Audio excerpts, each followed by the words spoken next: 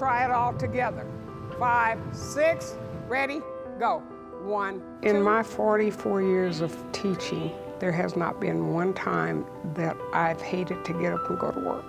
And now I'm teaching kids of kids of kids that I've had. I'm, I'm uh, like three generations. Uh, keep it up there. Where you going? You just saw this really consistent, loving individual. And I don't mean like hugs and kisses loving, but just you knew that she had your back. You knew that she wanted you to be successful. Kick, touch. Kick. Don't be afraid to kick. Kick, touch.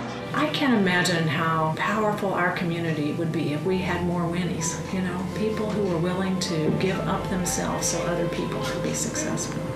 Three, four, five. Coach Ayers made a really big impact at Sumner, not only with me, but with my teammates, but also here at Linwood Family Y.